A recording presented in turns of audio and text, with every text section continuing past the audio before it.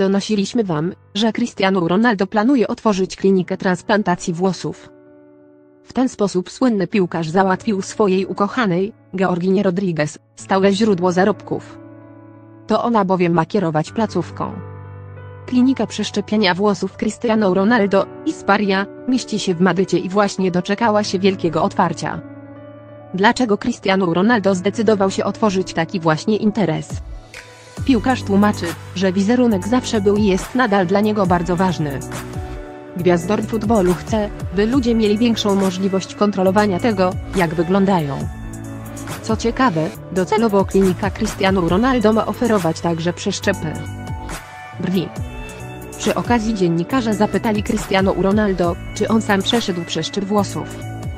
Piłkarz nie odpowiedział jednoznacznie, ale zasugerował, że jeszcze nie. Kiedy stwierdzę, że to jest konieczne, oczywiście, że to zrobię, zapewnił Cristiano Ronaldo.